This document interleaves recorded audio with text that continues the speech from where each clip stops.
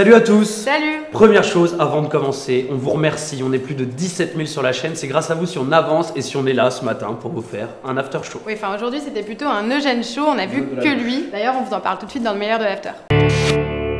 Alors cette semaine, on a un épisode assez particulier puisqu'on a un épisode vraiment à deux vitesses. Un épisode très psychologique avec peu d'action au début. Où on entre vraiment justement dans la psychologie d'Eugène et toute la question est de savoir s'il va ou non rallier les idées de Negan jusqu'au bout ou bien s'il va un peu faire demi-tour euh, et revenir vers Rick. C'est ça qui est hyper étonnant, c'est que tout le monde s'arrache ce savant fou. J'ai un peu de mal avec ce perso, mais euh, tout le monde le veut. Et ça donne lieu dans cet épisode à plusieurs confrontations, plusieurs face-à-face, où chacun essaye de convaincre Eugène de se rallier dans tel ou tel camp. Ouais, en utilisant à chaque fois de nouveaux arguments. Alors on a d'abord une confrontation entre les deux traîtres entre guillemets, Dwight euh, et Eugène, un peu les deux, le badass euh, puis le lâche quoi. Ouais, c'est la confrontation où il y a le plus de pression parce que euh, Eugène d'André avoue à Dwight Je sais que t'es le traître, je sais que tu bosses avec Rick, soit tu t'arrêtes, soit je te balance. Et donc Dwight, à l'inverse, lui se fait pas chier, il saisit Eugène parce qu'il sait qu'il est faible et lui dit Mec, t'as un choix à faire et ton choix c'est de ne rien faire pour laisser le sanctuaire tomber. Donc voilà, première confrontation où Dwight essaye de convaincre un peu en lui mettant la pression Eugène de retourner vers Rick. Oui, jusqu'au bout, on ne sait pas si Dwight va vraiment appuyer sur la gâchette euh, pour tuer Eugène ou bien euh, si Eugène va réussir à aller jusqu'au bout de son plan. Ouais, on a même peur pour Dwight que quelqu'un débarque et découvre que c'est Dwight le traître et qu'à ce moment-là, ça commence à chauffer pour ses petites fesses. Alors, autre ambiance, autre argumentaire, beaucoup plus mystique euh, ici, avec Gabriel et Eugène toujours. C'est vraiment l'homme de science face à l'homme d'église. Ouais, il est donc là, il est au bout de sa vie, Gabriel. On s'attendait pas à ça d'ailleurs. Scénaristiquement, c'est un peu bizarre. voilà, il a chopé une fièvre, il s'est tartiné de tripes. Moi, je me suis quand même posé la question. Je suis pas vraiment sûr encore qu'il soit vraiment malade. Alors, bon, ok, là, il a l'air quand même dans un sale état. Pas, très je me dis, est-ce que c'est pas un rôle qu'il joue, etc. J'aime tellement Gabriel, je le vois pas quand même mourir lentement d'une fièvre. Ça me ferait vraiment chier. Quoi qu'il en soit, il invoque les trucs basiques, typique Gabriel. Typique Walking Aie confiance en toi, aie la foi en toi et en Dieu, en les autres, tout ça, tout ça, tout le refrain de base. Et il lui propose même un truc pour se racheter euh, vis-à-vis de Rick, c'est de ramener le docteur Le médecin, qui est gynéco, on le rappelle, et pour aider Maggie, qui est enceinte, on le rappelle aussi.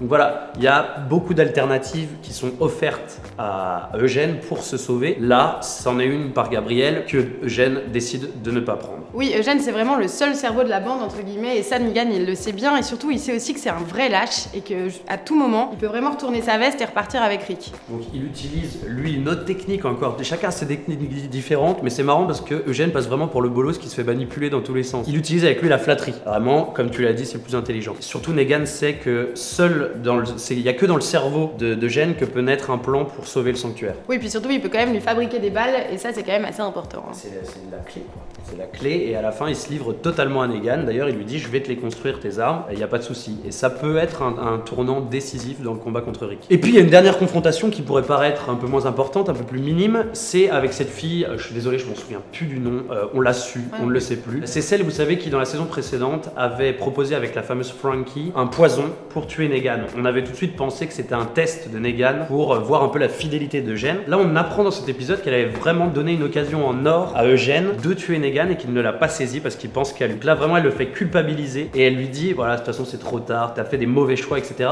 Une autre manière de lui dire peut-être que tu devrais retourner vers Rick, essayer d'éveiller sa conscience. C'est là-dessus que repose tout l'épisode en fait. Ouais, mais en tout cas, ce qu'on peut retenir de cet épisode, c'est que Eugène, vraiment, ce qui lui importe, c'est sa sécurité, sa survie, le reste il s'en fout. On sait toujours pas quelle est sa position.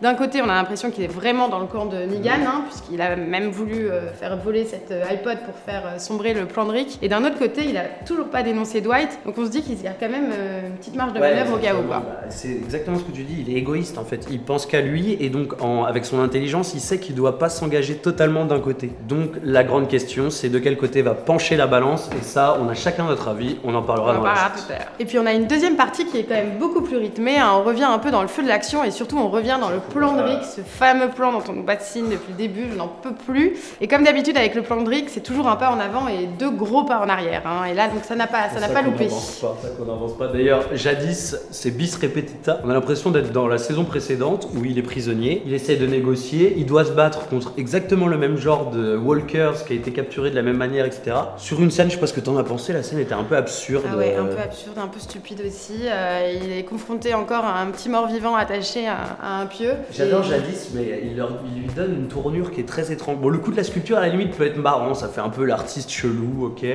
on sait qu'elle a un peu un attrait pour Rick, donc elle lui dit Ouais, je, te prendrai en sculpture, mais sans ton caleçon. Donc, toi, il y a un petit jeu comme ça marrant, mais j'ai pas compris la manière dont il a réussi à la convaincre. Bah, si, elle était euh, face, euh, face à terre, euh, en face d'elle, un petit mort-vivant, donc globalement, elle n'avait pas vraiment beaucoup de choix. C'était ça ou mourir. Quoi qu'il en soit, il arrive enfin à convaincre Jadis de se ranger à ses côtés et donc de mener le combat pour achever Negan. Et il lui offre en contrepartie, bon, il y a toujours de la négociation avec Jadis parce que on sait que les Garbage Kids sont très attachés aux biens matériels et qu'ils n'ont pas trop envie de se faire chier pour les obtenir. Et donc là, elle obtient, je un, quart. un quart, voilà, un quart du sanctuaire, ce qui à mon avis est pas mal parce qu'il y a quand même beaucoup de ressources là-bas. Là, on se dit, normal, logique, Rick a récupéré Jadis et son armée, c'est parti, le plan est en marche comme d'habitude, mais euh, c'est très cyclique avec The Walking Dead. Je sais pas ce que vous en pensez, mais il n'y a jamais aucun plan qui va à son terme dans The Walking Dead. Il y a toujours une foirade. Ouais, il y a toujours des dissensions, et là il y a vraiment une fronde menée par Daryl qui n'en fait qu'à sa tête et qui en a un peu marre euh, des instructions de Rick. Donc du coup, il va décider d'entrer dans le sanctuaire, de, pénétrer dans le sanctuaire et de faire entrer les rôdeurs pour justement les mettre à mal. Au départ, ils sont quatre à mener justement euh, ce plan à bien, et puis très vite, en fait, Et Rosita euh, font un peu un pas en arrière. C'est toujours ça, hein, un pas en arrière, deux pas en avant, deux pas en arrière, un pas en avant, c'est jamais. En tout cas, elle quitte la fronde, donc c'est vraiment une fronde dans la fronde. Et cette saison, c'est vraiment n'importe quoi. Mais le plan, le plan Daryl, à la limite, il peut paraître bien au début, les premières minutes, parce qu'il a quand même fait une brèche, tous les rôdeurs euh, rentrent dans le sanctuaire. Et en fait, on se rend compte avec euh, le plan de la fin, où Rick regarde dans la lunette, que ça a surtout laissé une opportunité pour Negan et ses hommes de s'enfuir et de quitter le sanctuaire. Et ça, c'est peut-être la pire chose qui peut se passer pour euh, Rick et sa bande. Ouais, puis il y a un vrai problème aussi dans cette saison, c'est qu'on voit que chacun euh, agit euh, aussi pour construire un monde meilleur, mais surtout par revanche. Et c'est cette revanche finalement qui les mène, et du coup c'est très individualiste, et finalement bah, ça met des gros couacs comme pour aujourd'hui. Est-ce que c'est pas encore une étape de plus sur la fracture probable entre Rick et Daryl? Est-ce que Rick va vraiment pardonner Daryl d'avoir fait ça et d'en avoir fait qu'à qu'à sa tête. Ah, c'est peut-être la fin d'une romance. Hein. Ah putain, moi je serais tellement. Bon, le point positif tout de même euh, aujourd'hui, c'est que là vraiment on a relancé les dés, les intrigues sont de nouveau lancées et on peut s'attendre à un épisode plutôt pas mal euh, pour le mid-season.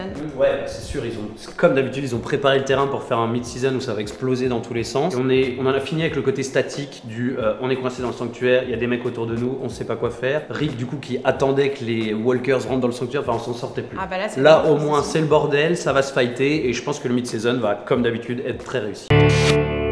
Alors la semaine dernière, victoire très large de Maggie et donc de moi. Merci à tous. Quel est ton choix de cette semaine, Julie? Alors moi cette semaine j'ai choisi le personnage de Dwight parce que pour moi c'est vraiment un des persos les plus approfondis de cette saison. Euh, c'est le seul qui a un peu droit dans ses bottes, il va jusqu'au bout, il a décidé de rallier euh, le camp de Rick. Oui puis c'est un personnage qui est assez sombre et dans Walking Dead c'est assez rare aussi puisqu'il y a toujours ces espèces de psychologie en demi-teint, tout est à moitié méchant, à moitié gentil. Dwight il est ni, méchant ni gentil et il en a bien chié avant. Et du coup il y a une psychologie qui est assez, euh, assez intéressante sur ce perso et qui est assez approfondie aussi je trouve. Ouais tu me l'ôtes de la bouche, moi j'aurais voté Team Dwight. Hein je suis un peu, je suis un peu frustré. Elle m'a piqué mon perso. Du coup, j'ai quand même choisi Rick Team Rick, euh, parce que. Parce qu'il est en caleçon. En caleçon. Gros caleçon à l'américaine, bien large, bien bouffant, pour être bien à l'aise. Il est dans cet épisode, je trouve, assez intéressant et au niveau de ce qu'on. Lui, en fait, c'est ça, on peut pas lui enlever. Il a un plan, il établit des trucs, il, est, il est pas con, tu vois. Il, mène son plan, sauf qu'à chaque fois, il a des emmerdes. Il y a des mecs à côté qui viennent pourrir ses idées. Là, il a réussi à rallier Jadis, c'est quand même pas rien. Bon, on n'est pas à l'abri d'une trahison, mais il a réussi à rallier Jadis. Il, son plan, il est en marche, tout va bien, ça, ça avance. Et il découvre, pas de cul, qu'on l'a, qui s'est fait encore baiser. Ah, Team Rick, c'est vraiment encouragement, continue comme ça. Et euh, limite reste tout seul parce que les mecs t'en font trop baver. J'ai presque envie d'appeler cette partie le complot du web, tellement c'est un délire complotiste qui a émergé sur le web. On y a une grosse théorie générale sur cette première partie de saison. Ouais, il y a une théorie qui a eu l'effet d'une bombe sur Internet. Cette première partie ne serait finalement qu'un rêve, qu'une hallucination de Rick. Alors souvenez-vous, on l'avait quitté à la fin de la saison 7, Rick, dans un sale état. Hein. et donc ça pourrait laisser présager peut-être un coma ou une fièvre délirante. Enfin bon, ce que vous voulez. On a vraiment une impression de déjà vu dans cette saison. Oui, on l'a dit à de multiples reprises, on a l'impression que les choses se répètent, que c'est cyclique. Euh, comme s'il transposait des choses qu'il a déjà vécues dans une possible réalité future. Déjà, on, avait, on était étonné par ce qui s'était passé dans l'épisode 1, ce délire un peu de à moitié flashback, à moitié rêve, ce moment où on le voit complètement au bout de sa vie, comme s'il venait de perdre un être cher. Enfin, il y a plein de trucs qui nous intriguent et qui peuvent laisser penser à cette théorie. Et surtout, il y a beaucoup de signes qui s'accumulent. Oui, il y a des, certains internautes qui pensent que toutes ces incohérences, notamment au niveau des personnages et de leur psychologie, sont dues notamment peut-être à ce rêve. C'est vrai que depuis le début de la saison, on a eu très peu d'évolution euh, dans la psychologie des persos. Je pense à Daryl, je pense à Michonne. Finalement, c'est comme si on était resté avec les persos tels qu'on les avait quittés dans la saison 7, mais transposés justement donc dans cette nouvelle intrigue. Et en parlant d'ailleurs de personnages revenus d'entre les morts, peut-être que le retour de Morales, typiquement, c'est un truc euh, sujet de l'imagination. L'hélico qui nous fait penser ça aussi, parce que c'est clairement un délire. Qu'est-ce que c'est que cette chose Ouais, puis il y a le fameux A surtout. Surtout. Qu'est-ce que c'est que ce symbole? Ça nous emmène à ça. Beaucoup de gens ont parlé et s'étaient étonnés de ce A qui était euh, sur le container de jadis. Beaucoup de théories ont émergé. On sait qu'on le croise à de nombreuses reprises euh, dans la série The Walking Dead. Je pense c'est sur le suite, le suite des Saviors, c'est sur l'église du Père Gabriel quand il le rencontre. C'est sur le, surtout le container des Scavengers au terminus. Vous savez les cannibales. c'est exactement la même scène. Rick et sa bande sont enfermés dans un container où il y a ce même A. Comme si on revivait des choses du passé continuellement. C'est ce qui nous fait penser que ce complot général peut être possible. Bon, c'est quand même un gros ah bah, complot. on vous a dit, hein, c'est un délire complotiste de malade. Mais on n'est pas à une surprise près avec The Walking Dead. C'est beau quand même, en tout cas, l'amour des fans, justifier les faiblesses scénaristiques avec une théorie complotiste géante, on adore. Aujourd'hui, Eugène a vraiment pour moi rallié le camp de Negan. On voit que Negan a réussi à le séduire, il lui a montré qu'il était essentiel dans son clan. En plus, euh, Eugène a vraiment brillé dans cet épisode, il a même dit au père Gabriel, définitivement c'est le sanctuaire avec lequel je me sens en sécurité, c'est sa survie qui compte avant tout. Tu vois que c'est un perso qui devient de plus en plus obscur, finalement assez sombre. Et euh, ce côté où il a vrillé, il se voit aussi dans ses actes. Il a choisi de soutenir Negan et par l'avion avec euh, son plan pour la sono, et aussi en lui promettant de lui construire des armes. Alors pour moi, c'est pas si clair. Eugène euh, s'est gardé une marge de manœuvre. On l'a dit. Il n'a pas dénoncé le traître Dwight. Et ça, c'est au cas où, c'est le côté girouette d'Eugène, c'est quand le vent va tourner, quand il va s'apercevoir que Negan n'a pas tant les choses en main que ça et que Rick va gagner, il va se dire ok, il faut progressivement que je rebascule pour ma survie, tu l'as dit toi-même, du côté de Rick. Et à ce moment-là, il va faire une action ou un truc un peu flamboyant pour montrer à Rick qu'il est avec lui et ce sera peut-être un sacrifice, son dernier sacrifice. Comme chaque semaine, c'est le moment tant attendu pour donner notre note, notre verdict. J'ai donné la note de 3 sur 5. J'ai longtemps eu un peu peur parce que le côté psychologique, ok, est assez intéressant sur le côté j'ai besoin de choisir entre Negan, Rick. Tout le monde essaye de me convaincre, ça j'ai bien aimé. Et pour moi, la deuxième partie, beaucoup plus rythmée, qui relance les dés du combat entre Negan et Rick, est beaucoup plus intéressante. Elle apporte beaucoup plus de choses et c'est pour ça que ça a plus de la moyenne de mon côté. moi j'ai mis la moyenne, j'ai mis 2,5, mais je suis assez d'accord avec toi. C'est vraiment un épisode pour le coup de transition. On a l'impression que vraiment toutes les affaires et toutes les intrigues sont encore en train euh, de se dévoiler. Donc ça, ça reste assez prometteur pour la suite. Mais bon, toujours quand même beaucoup de longueur. Eugène, il est commence à être un peu embêtant à force de pas savoir dans quel camp il va. On aimerait bien qu'ils soient un peu plus tranchants finalement dans leur choix dans Walking Dead. On en discutait, on adorerait qu'ils soient vraiment méchants quoi. ouais, ouais, carrément, qu'ils prennent enfin une décision euh, et qu'ils y aillent jusqu'au bout. Je trouve que c'est ce qui manque dans cette saison. C'est un côté un peu plus euh, affirmé et un peu plus convaincant. C'est ça, c'est le problème, c'est que c'est tellement d'épisodes pour préparer un mid-season où ok je pense que ça va exploser dans tous les sens mais c'est dommage. On devrait avoir que des mid-season en tout cas nous fans de Walking Dead c'est ce qu'on veut. En fait c'est une saison un peu particulière c'est une saison d'épisodes de transition. C'est particulier. Mauvaise langue bon préparez-vous parce qu'à mon avis la semaine prochaine ça va sérieusement dépoter hein. ils ont l'habitude de nous faire des mid-season où ça pète dans tous les sens où il y a des morts. Ça fait longtemps qu'on n'a pas eu ce qui est quand même la marque de fabrique de The Walking Dead des morts importants. Bon je souhaite la mort de personne hein, mais j'aimerais bien que des personnes sautent qui ont perdu de l'intérêt je pense à Rosita ouais puis on aimerait bien aussi un épisode où on retrouve un peu tous les persos qui font Walking Dead, parce qu'à chaque fois on en a 3 ou 4 par épisode. Là, si seulement ils pouvaient nous faire une espèce de communion euh, de héros, ça serait assez sympa. On a parlé aussi dans les théories de la possible des explosions, une attaque d'Alexandria. Est-ce que c'est pas pour la semaine prochaine? Je croise les doigts parce que je pense que ça pourrait être assez cool. Ouais, bon bref, ça peut être assez croustillant. Encore une fois, on ne vous le dira jamais assez. On vous remercie. On est aujourd'hui plus de 17 000 sur la page et c'est grâce à vous si on grandit, c'est grâce à vos commentaires, vos théories, etc qu'on construit nos vidéos, donc merci. Oui, vraiment, changez rien et continuez à vous abonner, à liker et à partager. Et on attend, comme d'habitude, vos commentaires, vos analyses, vos théories, ça nous aide à construire nos vidéos. On se retrouve dès demain, vous êtes maintenant habitués, avec l'analyse du trailer, et c'est un gros trailer puisque c'est le mid-season tant attendu. On vous dit à demain. Ciao